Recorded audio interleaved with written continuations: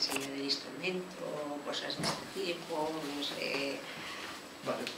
No sé, tú puedes preguntar. No, a mí siempre me interesa un poquito cosas igual saben o no saben. ¿En su familia había descendientes musicales? No. No. Bueno, había gente que había cantado en coros, tíos, eh, que tocaban el piano o la guitarra, la bandurria, pero nadie profesional, nadie. A mi padre le gustaba mucho la música y entonces él siempre dijo que el primer hijo que tuviera, porque él tenía mucha envidia de la gente que tocaba instrumentos y mi abuelo nunca le dejó. Entonces cuando él se hizo mayor, lo primero que hizo fue comprarse un violín, porque le gustaba mucho, y se compró una pianola. y, él tocaba, bueno, y hacía sus tangos y sus cosas y, y tal. Y entonces cuando yo nací, pues cuando tuve 25 años empecé en el colegio a tocar el piano y a, ir al colegio. Empecé porque a mi padre le gustaba mucho. Lo que pasa es que él no pensaba que después la niña le saldría músico, pero bueno, le salió músico. Pero no había ningún. ¿Y sería posible que nos hiciera un pequeño recuerdo o el más importante que les ha dejado cada maestro suyo? Yo creo que todos me han dejado aportaciones diferentes pues todos han sido muy importantes en, lo que yo hago también, en, la evolución también, ah, digamos, pedagógica. Ah, María Canela era una persona maravillosa, era una gran pianista, una gran artista y muy libre. Me dejó, y una de las cosas que le agradecí siempre mucho es que yo tenía una profesora en Madrid que era muy rígida y que no me de mirar dedo por aquí, por allá. Y ella ah, me dio un, me, dejó muy libre para ir tocando, me corregía lo que tenía que corregirme, pero, y entonces ella me dio como una libertad muy grande, ¿no? Después Ramón Collo creo que me hizo una pianista, porque me abrió, o sea, yo era, era muy jovencita, tenía, no sé si 16 o 17 años, y, y tocaba mucho. Tenía muchos dedos y él ponía ahí, y yo corría y era una...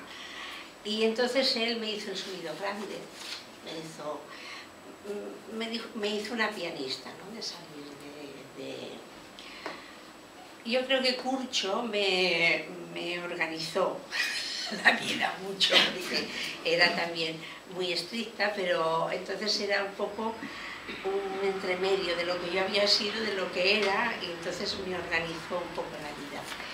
Ah, y Miguel me ayudó mucho porque era una persona magnífica.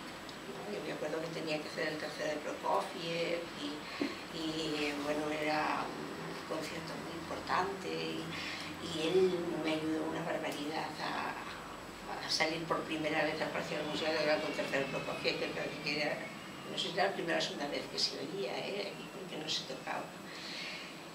Y después, yo creo que Luis de Moura para mí fue la persona que mm, me dio más, uh, más uh, herramientas para enseñar. Porque él combinaba muy bien toda la parte, digamos, musical con la parte física.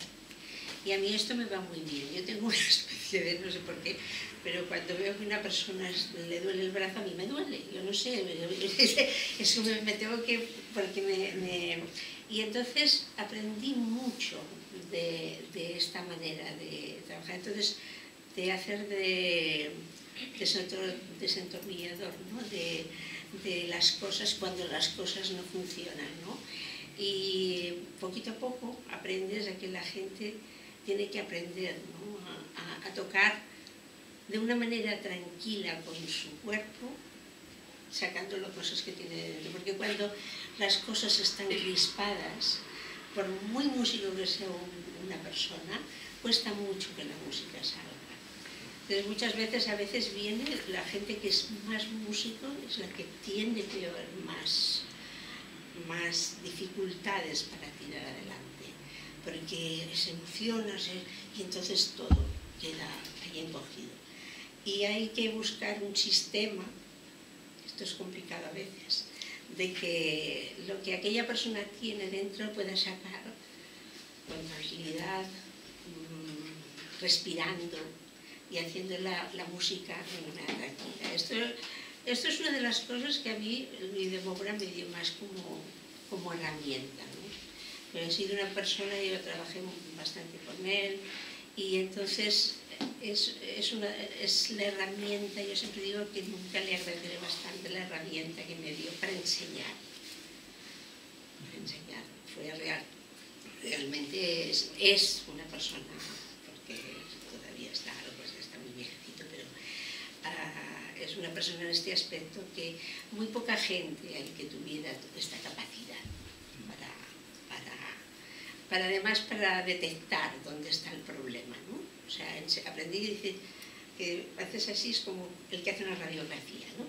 Y, des, y se levantaba y decía, el problema está aquí. Y efectivamente el problema estaba allá, ¿no?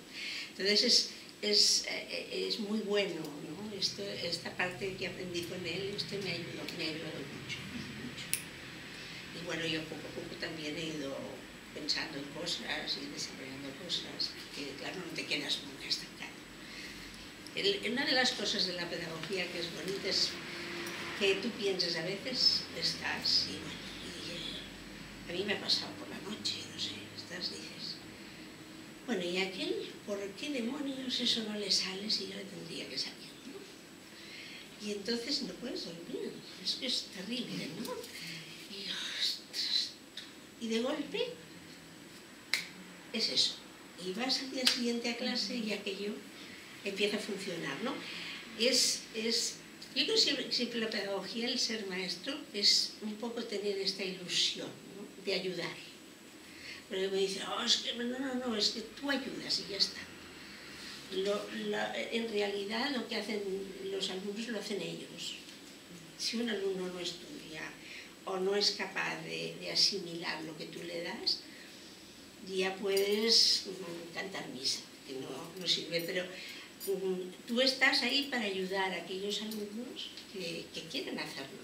No, importa tampoco las, las, las condiciones que tengan. Porque a veces decimos, Oye, es que es una persona de gran talento, quiero una persona de mucho talento, pero que a veces una persona que no es de tanto talento puede hacer después un trabajo que nos hace mucha falta. Puede hacer un, yo que sé, una pedagogía mm, de pequeños muy buena, si saben hacer muy bien las cosas. No sé, todas las personas tenemos cosas que aportar. Entonces lo importante es saber también detectar aquella persona que tienes delante, qué podrá aportar.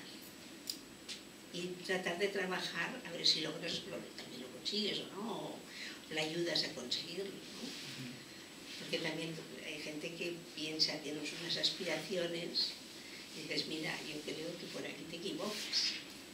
Yo creo que si fueras por aquí sería mejor, ¿no? Es, bueno, es mi manera de pensar y mi, manera de pensar mucho en, la, en el aspecto pedagógico. Es lo que yo he tratado de hacer siempre. Y bueno, a veces ha funcionado, a veces no tanto, pero bueno, pues hemos ido sacando, han ido saliendo adelante. Sí, una, una, cosa que mucha gente ya ha llamado la atención de sus alumnos, que primero la, la, calidad común que tienen todos y después que son muy diferentes unos que otros, que, sí. no, que no ha sido aquello de imponer una manera y todos tocan como yo digo, no, sino que... Es que es imposible.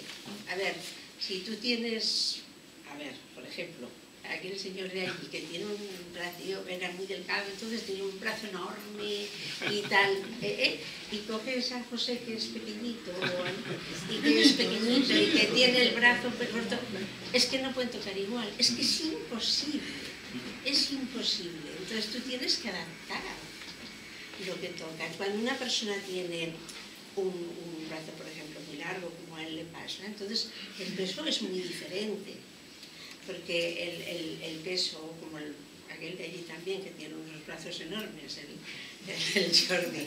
Entonces, es igual, cuando el brazo es tan largo, el peso del brazo ya es mucho más grande que lo que tiene una persona que es más bajita, más pequeñita. Entonces no, se, no puede tocar igual.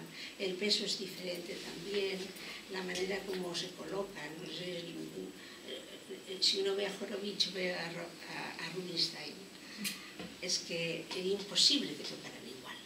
Es que no puede ser, ¿no? Si veis aquel señor bajito con el pelito así que salía tiki, era esto, ¿no? Y veías a Horowitz, el pelo va, y todo el brazo, es, es, es otro mundo, ¿no? Sí, sí. Pero es que Horowitz no podía tocar como Horowitz físicamente. Ya, evidentemente, desde el punto de vista musical tampoco, porque cada persona tiene su personalidad. Pero desde el punto de vista físico es imposible que Horowitz tocara como Horowitz, ni que Horowitz tocara como Horowitz. Es que es imposible. La, lo que es muy importante es cuando tienes delante la persona saber qué vas a hacer con aquello, ¿no? Que, cómo lo vas... Cómo... Y, y, una cosa que es muy interesante, ahora que hay muchos que muchos enseñan, ¿no? que los niños los colocas, los pones y tal. Y después hay una época, la época adolescente, sobre todo de los chicos, que de golpe crecen 20 centímetros, se les crece el brazo un kilómetro, no saben qué hacer con los pies, y eso es un problema terrible. Eso es el trabajo más grande del pedagogo, saber adaptar aquello que no sabe dónde está, ni de esto ni la parte hormonal, porque claro, de golpe ahí todo se está, se está saliendo, ¿no? Y dices, bueno, a ver, vamos a tratar de encajar todo esto, a ver cómo vamos a solucionar esto, porque es, es muy complicada aquella época. Para mí es la época más complicada de la pedagogía, que la tendría que hacer gente que supiera muy bien qué tiene entre manos. Porque es una época muy, muy, muy difícil, que crece todo, ¿no? El niño es una cosa y de golpe el niño va haciéndose mayor, va haciendo su personalidad, todos no, pero bueno, las de convencer, uh, es, es, todo se tiene que adaptar, ¿no? Tienes que adaptar todo lo que le va pasando en la cabeza y lo que le está pasando en el cuerpo. ¿no? Es una época muy difícil de la pedagogía. Yo creo la más difícil de todas. Porque la más bonita es los grandes, cuando se ponen allí. Vamos a hablar de Beethoven. es muy bonito. Eh, todo gusta esto, ¿no? Pero primero uno tiene que poner las cosas en su sitio, si no, no hay nada que funcione. Y en sus años en el Conservatorio de, de Barcelona, hizo también desde muy pequeños Sí, sí, alumnos, sí, yo he hecho todas las etapas Yo de lo he hecho todo, todo, todo. Yo todo, desde los pequeñitos, pequeñitos hasta, hasta trabajé en un colegio al principio cuando era estudiante y hacía con los niños, les enseñaba a cantar y tocar un poco la flauta y todo. O sea, yo lo he hecho todo, todo. Y creo que empezar a enseñar por arriba tampoco es bueno. Había mucha gente que, que decía que, que lo, lo que hacía la gente en mayor, cuando tú ya tocas, ahí tocas un concierto de Chopin, es lo mismo que harías con un preludio de Chopin cuando eres pequeño. Debe- es lo mismo, pero hecho más grande. Entonces, tú de pequeño le tienes que enseñar a hacer las cosas, para que después esas mismas cosas ya queden como base y se vayan desarrollando. Entonces es bueno que la gente aprenda a enseñar desde abajo. Yo no creo mucho en... porque he visto muchos, muchos problemas muchas veces, ¿no? de gente que, que toca muy bien y que ha empezado a enseñar pero por arriba. Entonces, si no has empezado uno de abajo, es, cuesta un poco más. Es, es difícil. No quiero decir que no se pueda hacer, ¿eh? pero se puede hacer desde el punto de vista de hacer masterclass o una cosa así. Pero, pero formar, lo que se dice, formar a un alumno es, es más complicado, es más difícil. más difícil. Y en su experiencia pedagógica, la, la formación de una persona en la parte técnica, ¿usted la ha hecho aparte o incluida directamente en las obras?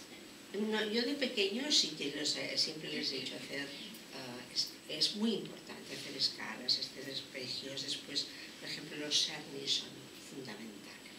Es fundamental. Porque además la gente dice, qué aburrido, bueno, depende. Claro, porque si tú eso lo haces tocar bien y le haces correr. A los niños les gusta correr. Uno de los, claro, uno de los problemas grandes que tienen los, la, la gente ahora es que nada más que ven los que van a la clase con ellos. Cuando tienes a veces un alumno que es un poco bueno, pues como es el, es el, el, el, tuerto en el mundo de los ciegos, pues ya es, claro, ya perfecto, ¿no? Pero entonces no tienen la visión de, por ejemplo, de ver un chico de 17, 18 años que toca un rondo caprichoso y dices, ostras, pues lo que hace este, yo también quiero. Y eso porque un niño, no sé, de 9, 10 años, no se mira en, en su ve un señor allí con melenas. ¿Cómo se va a mirar en aquel señor? No puede discernir lo que hace desde el punto de vista, claro, de, lo que tú puedes ver y dices, qué maravilla, qué está haciendo allí, qué sonoridad. Es un niño de 10 años, no lo ve. En cambio, lo que hace un niño de 16 o 17 lo tiene muy cerca, muy cerca. Y entonces quiere ser así, él quiere que toque tocar así, tocar deprisa, y entonces ya va a casa y toca más deprisa. Yo me acuerdo que hay un estudio de Sarni de octavas, mi dola, mi dola, mi así, mi así. Cuando yo era muy pequeña, que casi no tenía la octava, tenía nueve años, desde entonces. Había una chica que se llamaba Pilar Marina que hacía octavo de piano, y lo tocaba en este estudio. Y yo me le aprendí de oírlo, de memoria, de, de, de oído, ¿eh? Y cuando y lo tocaba toda pastilla. Y yo, yo me acuerdo con unas octavas allí, porque me encantaba el estudio y era bonito. Y bueno, y, me, el estudio aquel de, oído, ¿eh? Pues esto es lo que ahora los niños no tienen. Que entonces nosotros sí que lo teníamos porque yo creo que hay una división demasiado grande entre lo que es el piano elemental y el piano medio, que no tendría que estar. Pues el superior ya es digamos que sería otra cosa. Pero el piano elementario y el medio tendría que estar más, más unido. Porque, porque es bueno que los niños se miren en, en, en algo que después ellos pueden encontrar. Es, es muy bueno. El, siempre vuelvo primero a sus años en, en el Conservatorio de Bruck. ¿Allí usted hacía clases individuales y colectivas? No. O, no. Entonces no existía. Lo que pasa es que yo hacía bastantes uh, audiciones, bueno, tú ya lo sabes, ¿no? Sí. Se hacían muchas audiciones y, y, y se tocaba mucho. Somos, fui, nosotros, mi marido y yo, fuimos los primeros que hicimos las audiciones, porque no se hacían audiciones en el conservatorio. Las primeras personas que hicimos audiciones y de todas las clases, me acuerdo que Incluso en casa. Sí, sí. Incluso, eh, eh, yo me acuerdo una vez que nos robaron todos los programas que se tenían que hacer el día siguiente. Mi marido estuvo toda la noche rehaciendo programas y llamando a todos los profesores para que les dieran los Pero lo hacíamos los de todos. Eh, fue cuando se empezó a hacer toda la cosa de los alumnos y todo esto. Y estaba muy bien porque yo creo que una de las cosas buenas que hay y que los pianistas no lo sabemos ver porque siempre estamos solos. Es que tendríamos que poder hablar más de lo que hacen los alumnos, pero sinceramente. Y esto cuesta mucho. En los primeros años de ULESMUC esto iba bastante bien porque había Lionel Chinse y yo. Y nos llevábamos muy bien él y yo. Y, esto se hizo mucho. Después de cada audición nos reuníamos en, una, en un aula y se hablaba, y se hablaba los problemas de cada uno. Y esto ya se perdido. Porque a la gente no le gusta que le diga, sí es verdad, no nos gusta, pero no digo no, no le gusta, no nos gusta ¿no? que nos critiquen, porque parece que nos están criticando a nosotros, ¿no? Y a veces no, tú has, no has caído que aquella persona está haciendo aquello y que a lo mejor otro te puede ayudar ¿no? a sacar esto. Y esto eh, estaría muy bien en los conservatorios que hubiera mucho más, mucho más, como diría, entre, entre los profesores, más comunicación, más poder hablar más mejor de los problemas que hay. ¿no? Y nosotros empezamos en el conservatorio haciendo esto, haciendo audiciones y hablando y, y todo eso. Es una de las cosas muy importantes que aquí pasa mucho, que la gente toca muy poco. Aquí se toca muy poco, muy poco, muy poco. Yo en el conservatorio me acuerdo que hacía cinco audiciones al año mínimos de, toda la clase, pero si no es que te ibas al examen y la gente no había tocado se toca, se toca muy poco, muy poco, muy poco. En otras partes tienen muchas posibilidades. Yo tengo unos que estar en Londres, por ejemplo, y tienen muchas facilidades para tocar. Cualquier día, cualquier hora, y es, es muy importante porque es un aprendizaje. Es un aprendizaje, porque a veces que, bueno, ahora me estoy metiendo en un terreno un poco resbaladizo, porque hay este proteccionismo que ahora hay de cara a la vida que a mí me parece que no es muy bueno. Yo creo que el alumno es una esponja y el niño, ¡ay, pobrecito! que no se examine, que eso es muy malo. ¿Por qué? Si cada vez que sales a un escenario te examina y te ponen de vuelta perejil. Claro, claro, uy, qué mala esto, lo ha hecho esto, si lo hacemos cuando viene el Sokolov, es verdad, ¿no? Pues el alumno tiene que saber que cuando sale se lo examina y que tiene que salir y que tiene que tocar porque para eso lo, para eso lo hacemos, igual que lo hace un actor, igual que lo hace un cantante, igual que lo hace el, el señor que baila. Y esto es un proteccionismo que ahora, no, no, no, oye, pobrecito, pobrecito, pobrecito, pobrecito, el examen, ¿qué pasa que el examen? ¿eh? Yo me examinaba cada año y no me pasaba nada. y al día siguiente, después mi papá me llevaba y me, te has portado muy bien, venga, y me compraba unos churros. Y ya estaba, ¿no? Y estaba más de feliz. Y yo no, no, no, me he sentido nunca frustrada, ¿no? Y ahí, en este aspecto, hay, en esto, y después en la falta de, yo pienso ahora mucho en los padres, que bueno, que claro, poner el niño que toque el piano que está muy bien, pero tocar el piano, o el violín, o la trompeta, o lo que sea, significa que usted tiene que tener un piano en casa, y que el niño tiene que tocar cada día, sábados y domingos incluidos. Y si usted tiene la casita en Cadaqués, usted tiene que poner un piano en Cadaqués y el niño tiene que tocar el piano en Cadaqués. Claro, porque es que esto es una cosa que es, yo creo que en estos momentos es un, un fallo terrible. Además estamos en una sociedad que los niños se dispersan mucho, están muy dispersos siempre porque las nuevas tecnologías, todo, ya lo llevan ¿no? a esto. Entonces, yo creo precisamente que la música bien hecha, por ejemplo, es una de las cosas que ayudan más si a un niño tú le puedes le ayuda en ese aspecto, le ayuda en el aspecto emocional. Hay muchas cosas que yo creo que son muy buenas para trabajar. Pero claro, esto lo primero que tendríamos que hacer es, una, en lugar de todos ellos que están aquí tan guapos, hacer una reunión de padres, porque no lo entienden esto. Y, y, piensan, oye, es que el niño no puede ser... Caray, mi madre en, en Madrid como en casa no se podía tocar tan temprano, yo iba a las 8 de la mañana a estudiar al, colegio, ¿eh? y estudiaba de 8 a 9 con un frío que hacía, mil demonios. Y después, cuando acababa las 9, empezaba a hacer el colegio, pero yo de 8 a 9 ya había estudiado una hora el piano. Y mi madre me sacaba de casa, a las 7 me levantaba, a las 7 y media salíamos de casa, me dejaba el colegio, volvía a arreglar a mi hermana después bajaba con mi hermana. Y yo tenía entonces 6, 7 años, ¿eh? Y aquí está. Y estoy todavía vivo y aguanto bien. Quiero decirte que, claro, es que, que, que, es una cosa. Y llegaba del colegio, ¿no? A las 5. Venga, merienda. Después de merendar, una hora de piano. Vale.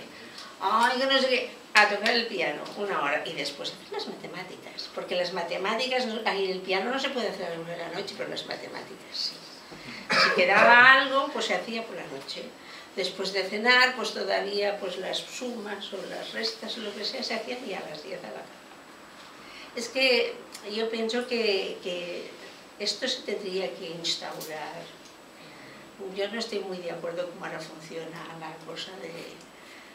A lo mejor estoy diciendo cosas un poco que no están muy, en el momento actual, muy, muy correctas, por lo, piensa la gente, pero yo creo que no es muy bueno para los chicos tal y como funciona. Falta una disciplina, que una disciplina no es el con el látigo, ¿eh? no tiene nada que ver, sino de crear una disciplina de cómo hacer las cosas y de que las cosas necesitan un esfuerzo y se trabajar para hacerlo. Es una de las cosas que también en la clase se tiene que hacer, enseñar cómo estudiar. Tú estudias con el alumno, venga, otra vez, va, venga. Ahora, tal y como lo hemos estudiado aquí, lo estudias acá, porque a los niños lo que tienes que hacer es enseñarles a estudiar. Ahora, igual lo hemos estudiado aquí, lo estudias en clase. Yo me acuerdo en Rusia que funcionaba así, con los niños pequeños, si no recuerdo mal, hacían tres clases a la semana con las profesoras que tenían las señoras allí, que eran un encanto, y estaban Laurita allí con la señora y tal, y la señora le iba haciendo estudiar. Al día siguiente estudiaba solo, al otro día volvía a estudiar con la profesora. Claro, los niños aprendían a estudiar. Es que a estudiar se de aprender de pequeño, de pequeño, y te han de enseñar. Estudia, bueno, estudia. Claro. estudia, eh, te han de enseñar, ¿no? Has de, tener... Claro, tal y como está montado ahora aquí, que son 20 minutos la clase y a la calle, tampoco. También es una cuestión económica, ¿no? Tal y como está. Y que también, bueno, una cuestión económica y también que, que tampoco se quiere. Es que no hay dinero para la segunda pero para otras cosas no sé, es el que yo pienso. A lo mejor estoy aquí muy, muy pero es eso. ¿Y cuando he tenido alumnos eh, que tenían un concurso, un concierto o algo, su, prepara, su extra en qué consistía? Pues que hacíamos más clase. Me quedaba y, y, hacíamos más clase. ¿no? Nos quedábamos un rato más y hacíamos más clase. Se tenía que, preparar aquello y si no había tiempo suficiente, porque la clase pues era de una hora, una hora hacíamos, ¿no? Pues claro, no había bastante, si se tenía que preparar una sonata, pues se tenía que sacar horas por otro sitio y se sacaban. De hecho, preparar las cosas o hacerlas es una cuestión también de que te pongas y, y sacar las horas. No hay otra solución. Es, es así. Y ir, puliendo, ir puliendo, ir puliendo y que vayan ir haciendo las cosas. Y ayudando a que, a que salga. Había una profesora en el conservatorio hace muchos años, ¿eh? que decía a los alumnos, mira, tú vete a casa te pones el disco y cuando toques igual vienes. y yo pensaba, qué bien, ¿no? Esto, esto es auténtico, ¿eh? no me lo estoy inventando, esto es auténtico. Y eh, yo pensaba, qué bien, ¿no? Qué fácil. qué fácil, ¿no? Todo es Rubinstein. No, yo lo decía porque he visto a alumnos tuyos hacer cosas que no son tan comunes, como siempre la gente tocando muchos recitales enteros, o ganar un concurso significa preparar un programa de un concurso, o tocar con orquesta, o sea que todo eso, evidentemente, hay un trabajo suyo muy grande, ¿no? entonces pues, quería saber... No, y de ellos también. ¿no? por supuesto, por supuesto. Es que ahora, por ejemplo, lo que decían de los, los exámenes, ¿no? es que los exámenes pues, que toda esta gente ha hecho son unos exámenes que hacían un recital, hacían una prueba técnica, hacían lección a vista, hacían concierto, y se hacía todo. Y ahora, bueno, para que toquen 20 minutos, pobrecitos, ay Dios mío, que tienen... No sé si se puede tocar todo el carnaval. ¿Cómo que no se puede tocar todo el carnaval? ¿No? Pero es que te dices que ya, ya, pobre, el otro día ya tocó una sonata de Mozart, y bueno, ¿y qué? ¿Sabes qué? pero eso es auténtico, que ahora las cosas van así, ¿no? Dices, bueno, si tocó una sonata de Mozart, ¿y qué? Cuando tienes que salir, no, no tienes bastante con el carnaval. Tocas la sonata de Mozart y algo más ¿Sí? Es que ha cambiado mucho la, la, percepción de cómo, de cómo, hacer las cosas. mucho eh, tiene que haber. a ver, es que si no, ¿cómo haces tú un, repertorio? Si durante el curso nada más que tocas una sonata de Mozart y cuatro, la mitad de un carnaval y, un preludio y fuga, no puede ser, tienes, tiene que hacer más programa, porque además es que tú tienes que aprender a, hacer diferentes programas. Cuando eres un profesional, pues a veces te vienen las cosas como te vienen, Ay, mira tú, podrías tocar el mes que viene esto y, lo tocas. Eso se tiene que saber, se tiene que hacer. todos los que están aquí profesionales lo saben, que, que las cosas a veces vienen de una semana, a veces de un día para otro incluso, lo que yo sé por aquí, me quiero decirte que, que, que uno, un profesional, a veces las cosas no están todo lo bien que a lo mejor podrían estar, pero tienes que saber hacerlo y hacerlo, digamos, con un rigor y unos mínimos. Después tú, si tienes, puedes preparar las cosas mucho mejor, ah, las puedes tocar, claro, con un nivel mucho más alto, pero a veces uno tiene que hacer las cosas pues con un nivel más pequeño, pero bien hechas. Si tú aprendes a hacer las cosas bien, se pueden hacer bien hechas. en, el, estudio de las obras polifónicas, ¿usted tenía una manera especial de trabajar? ¿Voces separadas? O... Sí, siempre las voces separadas. E, e, e, es, importante y, mezclar mucho las voces. Que tocar una primera con la tercera, la segunda con la cuarta, y poderlo tocar incluso siempre conservando las digitaciones que después haces. Eso va muy bien también. Y después, porque aquí tú lo has preguntado, si es bueno el cantar, ¿no? Ah, sí. Cantar va muy bien, es muy bueno. Yo desde yo he cantado mucho, pero siempre he dicho que soy una cantante frustrada. Yo, yo hubiera sido una primadona, me hubiera gustado mucho. sí, pero sí, sí. Y ahora cuando veo la Nebrec, la Nebrec, ¿cómo se llama? Nebrec, ¿no? Aquella señora que me tiene loca. Sí, es una maravilla. Pero, bueno, pero al, margen de esto, sí que es importante. Yo creo que toda la gente tendríamos que cantar, todos. Eh, tendría que haber en los conservatorios más, más, uh, más corales porque primero por el oído, porque claro, es muy diferente que tú estés oyendo aquí a los tenores, a los, porque te acostumbras a la polifonía con las diferentes colores, que es lo que a veces, claro, el piano siempre tiene el mismo color, bueno, no siempre tiene el mismo color, pero quiero decirte que el color del piano, ¿no? Pues intentar hacer que la gente escuche los diferentes colores que tienes, Y, eso va muy bien porque aprendes de esta manera, es muy importante. Y después hacer las frases largas, hacer frases largas, respirando cuando tienes que respirar. Porque, claro, los pianistas tenemos esta cosa que, no hay ningún instrumento. Todos los pianistas haces así y eso suena, ¿no? un señor que toca el violín tiene aquí el violín y lo tiene que personar, el que toca un instrumento de viento, pues, pero nosotros no, nosotros podemos pam, pam, ay, qué bueno, puedes hacer esto tocando. Entonces, no hay un, muchas veces no existe una conexión de, y del oído para hacer también, porque en el fondo es una ilusión, el legato perfecto no existe piano, porque no, no puede ser pero es como una ilusión, pero si tú lo tienes en el oído, logras hacerlo, haciéndolo. Si tú ya lo tienes en el oído, si tú ves una frase y sabes cómo la querrías sentir cantada a lo largo y tal, entonces tú logras hacerlo aquello. Es lo que te quiero decir, de una manera o de otra, pero logras hacerlo. Sentir como un sonido se aguanta con otro, ¿no?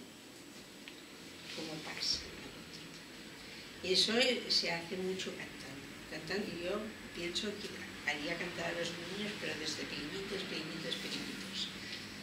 Desde bien pequeños que canten. Es una de las cosas en los conservatorios yo creo que se canta muy poco.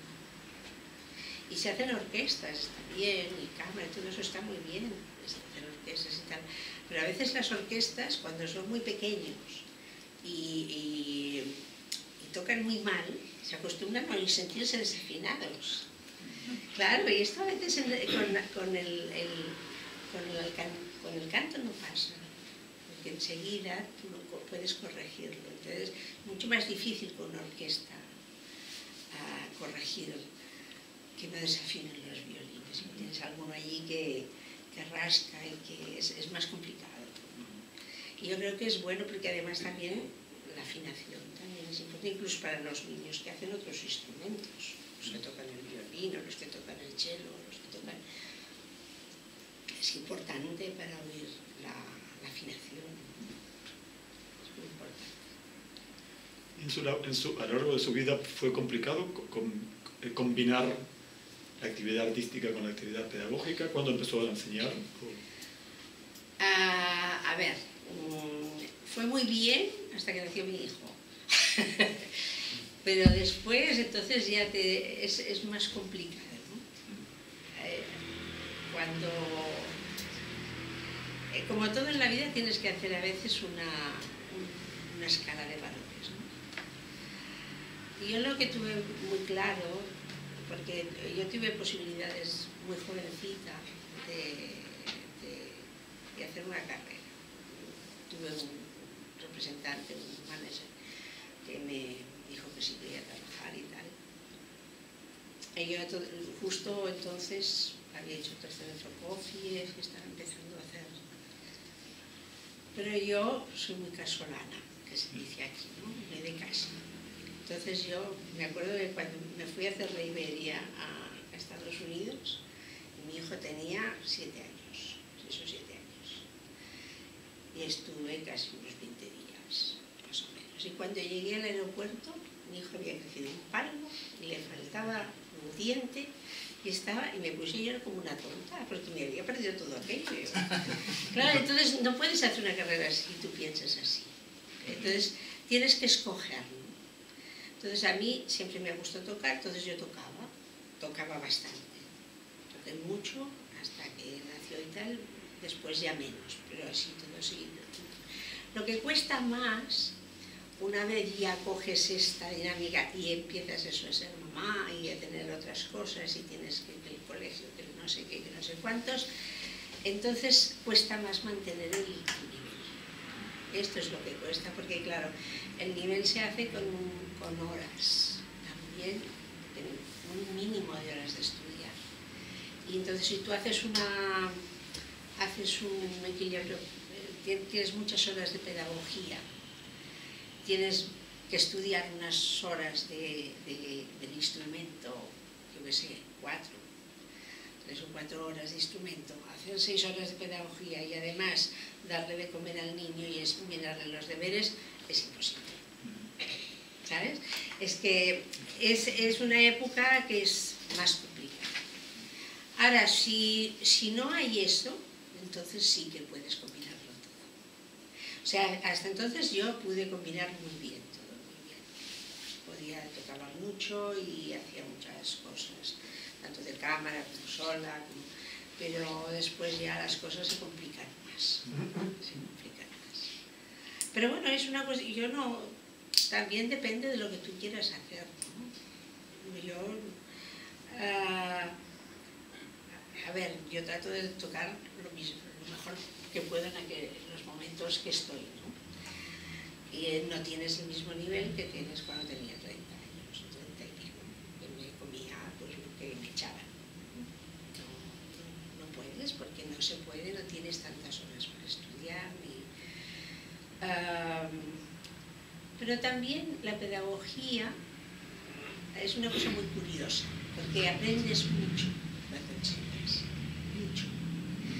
Y tienes que buscar muchas cosas mientras enseñas. Entonces tú también aprendes muchos trucos para aprender más deprisa. Y para, y para tocar más deprisa y hacer cosas más deprisa. O sea que mm, a lo mejor te falta un tiempo de poder mantener el, el nivel, pero por otra parte aprendes las cosas de una manera muy rápida y, y más fácil para llegar, porque enseguida ves maneras de solucionarte las cosas. O sea, todo es una especie de... es buscarlo, ¿no?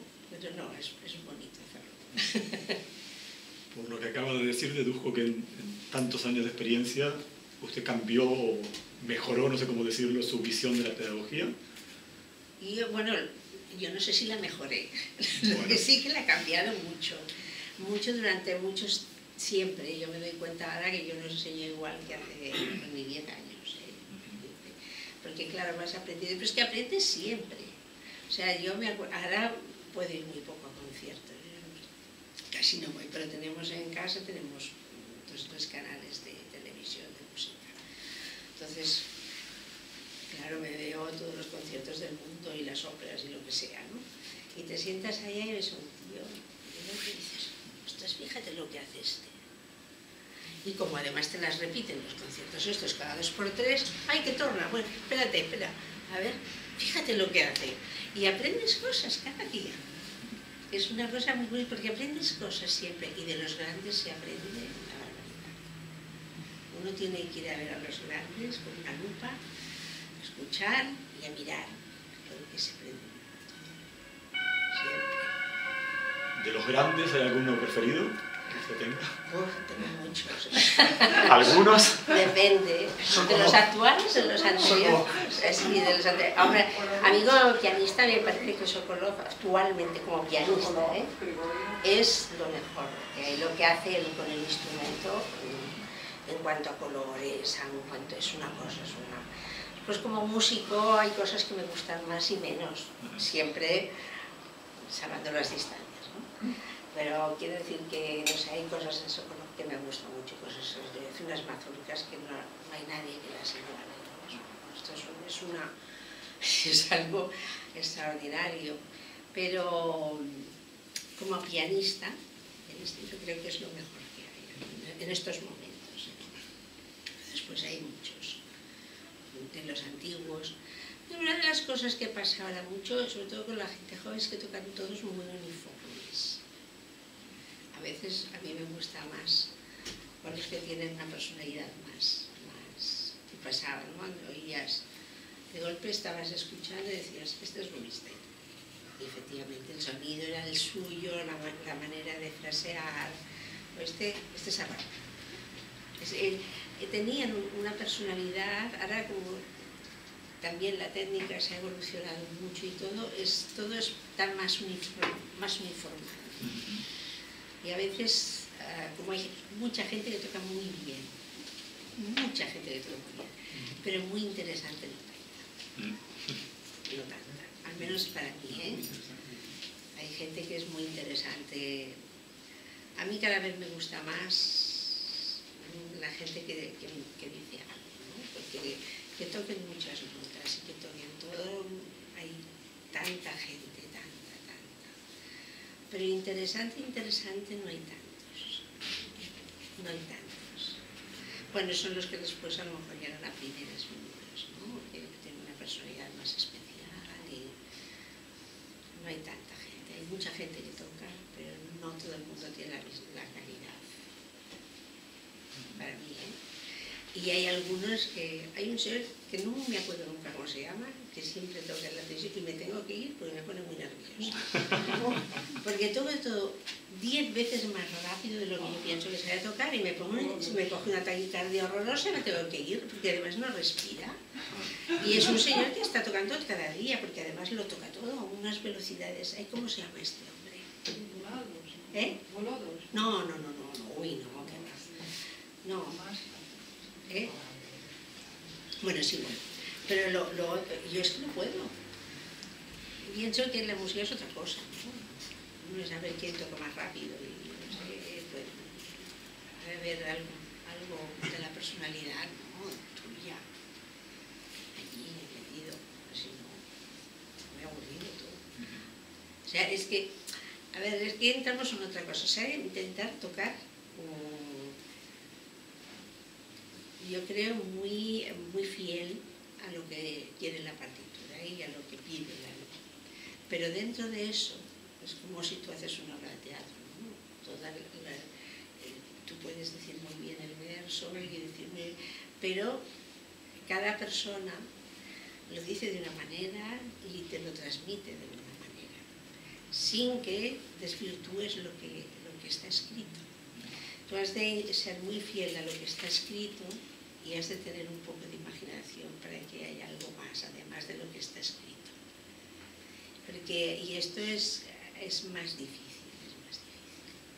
Yo esto me refería cuando le decía que sus alumnos son muy distintos, porque eso es, lo que yo he visto siempre, que hay muchos maestros buenos, pero que casi los alumnos parecen copias unos de otros. Que no pueden ser. Y otros que tienen, que, ¿cómo ha hecho usted para, para estimular el desarrollo de cada personalidad de sus alumnos? Yo, yo por ejemplo, no me tocado nunca mucho en la clase. ¿Ah?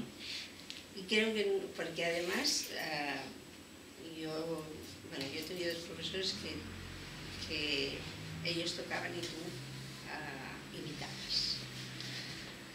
Y esto lo encuentro muy malo. Yo no creo que sea bueno. En un momento dado tú puedes hacer una, puedes hacer un, una, ¿cómo se llama? Pues, Demostración. Sí, sí. Y dices, bueno, mira, es que esto tendría que ser más o menos así, eso está bien, bueno, lo haces ya está. Pero no, en ningún momento ellos te tienen que imitar. Ellos tienen que llegar allí por sus propias convicciones. Tú les has de dar la, mecánica, decirles lo que no está bien, y, que ellos lleguen con su personalidad, no con la tuya. No imitar lo que están haciendo, porque acaba siendo claro, un, un, un clon de aquello, ¿no? Y no, no ha de serlo de ninguna manera. Porque después, al cabo del tiempo, tú tocas aquella obra, es que me había pasado, ¿eh? que había tocado en aquella época, y ¿por qué tocaba esto así? Porque claro, en realidad mi personalidad no era como aquella. Y yo estaba tocando de la misma manera que me la habían inculcado y después es muy difícil sacar esto. ¿eh? Es bueno que cada uno tiene sus propios recursos, aunque a veces no toquen tan bien. Es lo que te quiero decir. No importa si a veces un alumno no hace una audición, por ejemplo, perfecta. No importa. Pero que tú veas que él va canalizando cosas. ¿Sabes? Ahora, que tú te pongas y les hagas tocar perfecto, como tú quieres, y que no te salgas ni una coma de allí, y no te pases de aquí, no te pases de aquí y aquí, y le claves una bronca porque, porque, porque ha hecho un retardando mínimo en un sitio que no lo tiene que hacer. Mal. Es verdad, es que es muy malo eso. Dices, aquí, ¿por qué hiciste un retardando después en clase? A ver, explícame, porque ah, es que en aquel momento, pero no ves que aquí no está bien, a ver, vamos a ver, que a lo mejor se encuentra un entremedio, pero lo que no puedes hacer es tú hacerle hacer el retardando o no dejarle hacer un retardando un momento de un retardando o cualquier otra cosa. ¿eh? O sea, es que tienes que dejar que él, que él sepa cómo tiene que expresarse. Algo de, de personalidad suya. O sea, siempre hay algo de sello tuyo, de alguna manera. Pero lo otro tiene que ser el alumno que lo, que lo hace. Nos estamos un poco ya pasado de tiempo. Sí, sí. Vale. Pues no sé, yo tenía la, mi última pregunta era una recomendación a los futuros estudiantes, futuros pianistas o actuales estudiantes. Casi todos son pianistas. Ya aquí sí, ¿verdad? Hay alguno que otro que... No, yo creo que la única cosa es el trabajo. Ah.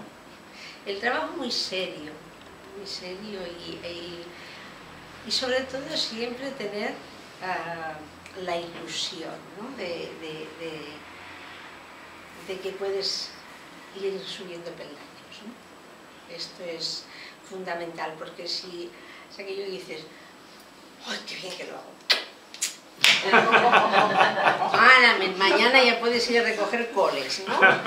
Porque entonces es que no tienes, no tienes entonces necesidad de tirar más para arriba.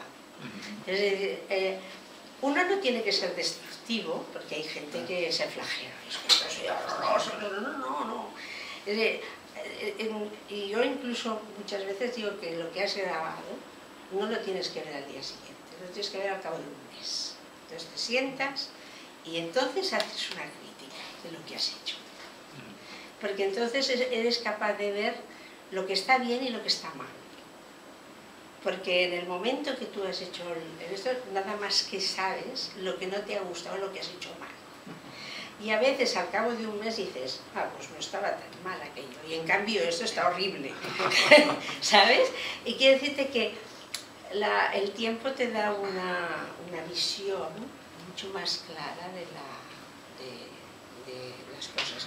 Y no- uno no tiene que ser... ah, no tiene que ser destructivo sí mismo, sino- pero tampoco tiene que ser complaciente. Uno tiene que saber que uno, bueno, hemos hecho aquí, pero aquí todavía, todavía nos queda mucha escalera. ¿no? Y si ves que siempre la escalera siempre está lejos. Una- eh, eh, tengo unos alumnos ah, en Galicia que conocen mucho eh, precisamente al, al- al- manager de Sokolov y les deja ir cuando estudia. Me explicaban, que es porque claro, los tíos estaban emocionados allí a verle cómo lo hacían y tal.